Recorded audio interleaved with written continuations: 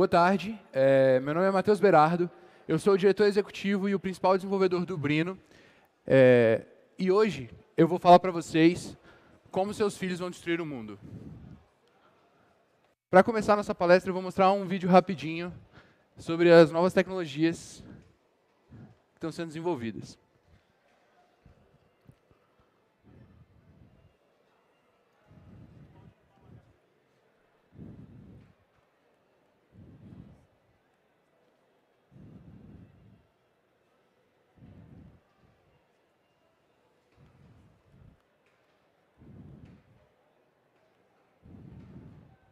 Os relatórios financeiros públicos dos últimos 20 anos. Eu posso detectar doenças antes que os pacientes apresentem qualquer sintoma.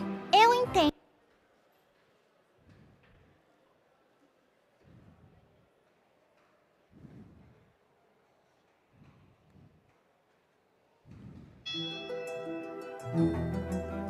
Eu sou uma revolução tecnológica. Esta manhã eu li mais de 4 mil artigos sobre leucemia em menos de um segundo. Milhares de novas leis foram publicadas ontem. Eu já conheço todas elas. Eu sei todos os detalhes de todos os relatórios financeiros públicos dos últimos 20 anos. Eu posso detectar doenças antes que os pacientes apresentem qualquer sintoma. Eu entendo eufemismos, idiosincrasias e metáforas complexas. Eu posso dizer o que vai vender bem antes de virar tendência na internet. Eu posso prever o tempo em mais de 2 bilhões de lugares ao mesmo tempo. Eu posso crescer com você. Treinar você. Melhorar você. Instruir você. E eu estou só começando. Olá, meu nome é Watson. Juntos, podemos repensar os limites do possível. Bem-vindos à era cognitiva. A tecnologia é, ela mudou muito rápido, principalmente depois que os computadores chegaram. Hoje em dia, a inteligência artificial já aprende de maneiras muito rápidas, muito dinâmicas, orgânicas. Como, por exemplo, o Watson, que está aprendendo, ele busca na internet italiano, por exemplo, ele estava vendo vídeos no YouTube, analisando os vídeos, quando ele, de repente, tropeçou que estava em italiano. E ele falou, nossa, o que é isso? É italiano, eu quero entender esse vídeo, vou aprender italiano. Algumas semanas estava o Watson falando italiano, entendendo os vídeos em italiano, porque ele queria aprender mais coisas. Então, é uma nova era na tecnologia e cada vez mais a gente corre o risco de ser substituído. Eu não sei como foi a experiência de vocês na educação. A minha experiência na educação foi essa. Cerca de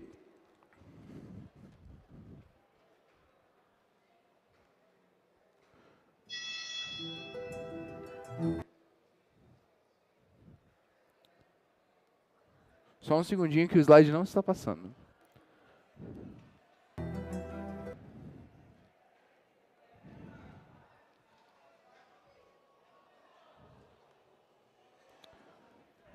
Minha experiência na educação foi essa. 40 alunos numa sala, um professor lá em cima que era dito o detentor de todo o conhecimento, e ele ficava lá e ele falava para a gente tudo que a gente tinha que saber a gente estava lá preparado para, como todos os outros, passar por um processo. A gente ia sentar, aprender, escutar, a gente tinha que ficar parado, escutar, copiar, fazer prova. Era uma fábrica, uma fábrica de alunos. A gente era treinado para repetir os mesmos padrões, para fazer as mesmas provas. É, a nossa criatividade não era estimulada e eu era um aluno inconformado com isso. É, eu não gostava de estar nas salas, eu vivia fora fazendo criei equipe de robótica, participei do Grêmio. Então, eu não gostava de estar naquele espaço em que eu era empurrado todo o conhecimento para dentro de mim, de uma forma que o professor sabe tudo, você senta aí e aprende. Fica aqui tira dúvidas. E essa educação, ela te prepara para um mercado de trabalho da Revolução Industrial. Ela não te prepara para um novo mercado de trabalho. O mercado de trabalho hoje em dia não quer mais saber daquela pessoa que sabe fazer o que todo mundo faz. Ela não quer uma pessoa que vai apertar o parafuso. Ela quer uma pessoa capaz de saber onde colocar um novo parafuso para fazer o trabalho melhor. Ele quer uma pessoa capaz de resolver problemas. Quer uma pessoa capaz de trabalhar em grupo. E como que a gente vai ter uma educação dessa? A gente precisa que o aluno saia da posição de passivo, de receptor de conhecimento, e vá para a posição de ativo, onde ele vai buscar o conhecimento dele, onde vai ter problemas apresentados para ele, e ele vai poder desenvolver conhecimento em cima disso ele vai poder ser o agente transformador. Ele vai ser capaz de inovar. Vou trazer agora mais um videozinho para vocês é, sobre aprendizado baseado em problemas. É uma, um método de ensino considerado hoje em dia o mais moderno.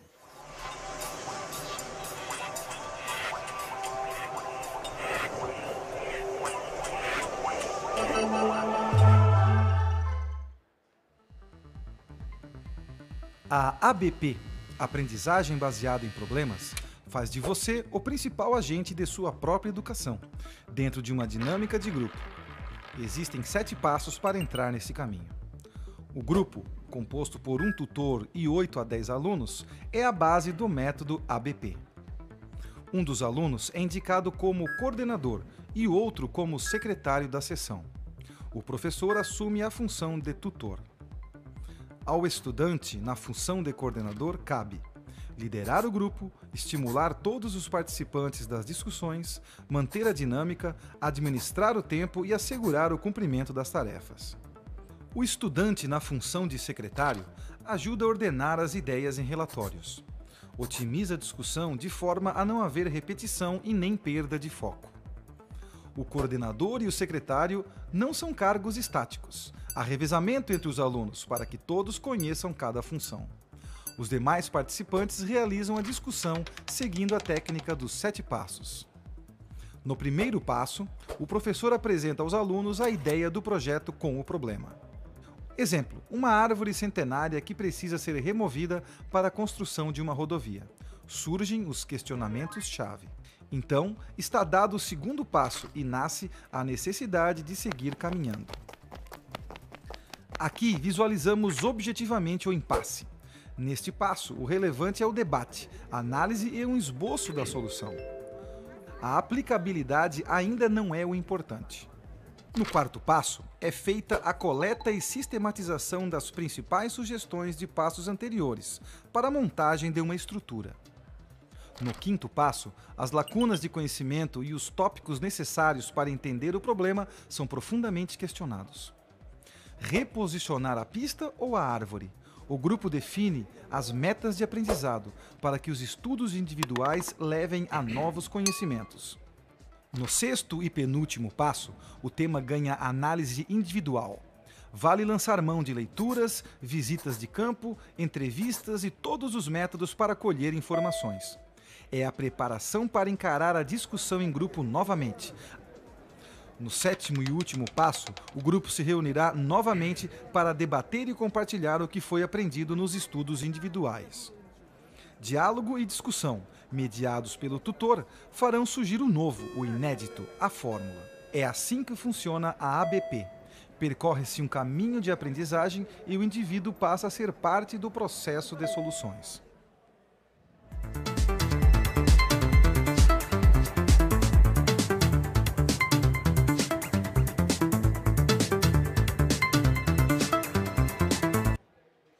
Bom, é, hoje em dia eu estou no ensino superior e eu percebo que o aprendizado continua o mesmo que eu tinha no ensino médio. E eu vejo esse método como um método que poderia trazer, levar a educação para o futuro, a educação que é necessária. A informação hoje está toda disponível na internet. A gente vê isso com o exemplo que eu mostrei do Watson. O Watson consegue dar, hoje em dia ele é usado nos Estados Unidos para dar diagnósticos, para dar laudos jurídicos. Então ele já tem substituído alguns advogados, já tem até ajudado as pessoas a não precisar ir ao médico com tanta frequência. E cara, se a informação está toda na internet, a gente não precisa mais que alguém fique necessariamente empurrando todo o conteúdo para a gente. A gente precisa de alguém que consiga ajudar a gente, guiar a gente, principalmente onde a gente tiver dúvida. Onde a gente não souber onde buscar, onde a gente não conseguir entender o que está disponível. E a robótica é um, uma grande ferramenta para essa revolução necessária na educação. A robótica, ela permite que você introduza temas da física, como a velocidade média, que você trabalhe também temas da arte. Ela traz para o aluno ferramentas para trabalhar em diversas áreas. Você consegue abordar conceitos de forma prática. Você consegue facilitar o contato com coisas que às vezes não são tangíveis. Quem estudou em uma escola que tem laboratório, percebeu que o laboratório era uma parte um pouco mais divertida. Mas imagina se você pudesse criar com liberdade um laboratório, montar um projeto. É algo muito bacana. E a grande vantagem do ensino da robótica, do uso da robótica como ferramenta, é o aprendizado da programação.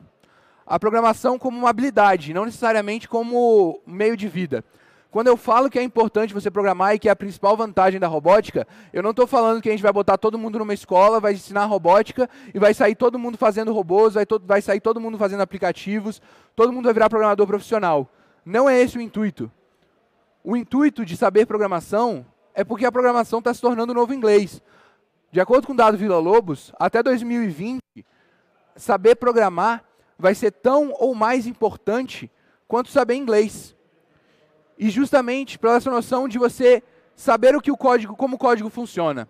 Se você entende o funcionamento do código, você é capaz de usar a, a tecnologia a seu favor e não ser substituído pela tecnologia. Se você tem noção de como o aplicativo funciona, você pode pensar o que você pode fazer, você pode inovar em cima disso. Você não precisa ser um programador profissional. Você precisa saber como a tecnologia funciona. Tendo essa noção, é muito mais provável que você use a tecnologia a seu favor do que você seja substituído. E programar é como escrever uma receita de bolo, ou seguir uma receita de bolo. Se você compreende a receita, se você segue os passos direitinho, tá ótimo. Você vai fazer um bolo maravilhoso, gostoso, você tem os ingredientes, todo mundo vai gostar do seu bolo. Mas se você não conseguiu entender a receita, ficou em dúvida, fez um negócio lá, fez uma gambiarra, tentou fazer alguma coisa, é bem provável que seu bolo acabe assim. Não é um bolo muito gostoso. É um bolo que mal dá para se chamar de bolo. E isso é um problema no Brasil. 97% dos brasileiros não falam inglês.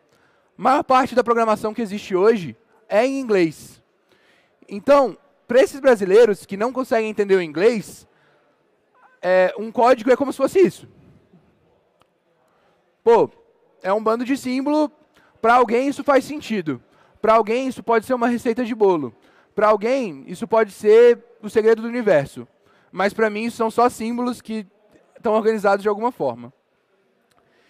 E percebendo essa dificuldade, a gente tentou criar uma ferramenta nova. O Brino. O que é o Brino? O Brino é uma linguagem de programação traduzida para o português. Ela permite que qualquer pessoa que queira aprender robótica possa aprender robótica de uma forma fácil, de uma forma intuitiva, com uma linguagem que faz sentido. Um texto que para você vai ser uma sequência de instruções, vai ser uma receita de bolo. E não símbolos que você tem que ordenar e alguém falou que naquela ordem dá certo. Você vai ser capaz de inovar. Você vai ter as ferramentas necessárias para inovação. O aluno vai aprender de uma forma que ele pode inovar. A gente tem dado aula para alunos a partir de 13 anos. Alunos a partir da alfabetização são capazes de programar. Eu conheço pessoas que trabalham com robótica e usam a linguagem tradicional em alunos com cerca de 10 anos. Se eles conseguem em inglês, em que eles decoram palavras-chave e imaginam que elas significam alguma coisa, quem dirá programando com que eles entendem o que está sendo feito? Com algo que faz uma sequência lógica para eles. E é aí que a gente volta no ponto de como seus filhos vão destruir o mundo. Com essa nova educação, eles vão estar preparados para inovar, para trazer para o mundo o que eles quiserem, da forma que eles quiserem, e não se tornarem uma nova classe de pessoas que não consegue trabalhar, não consegue achar trabalho.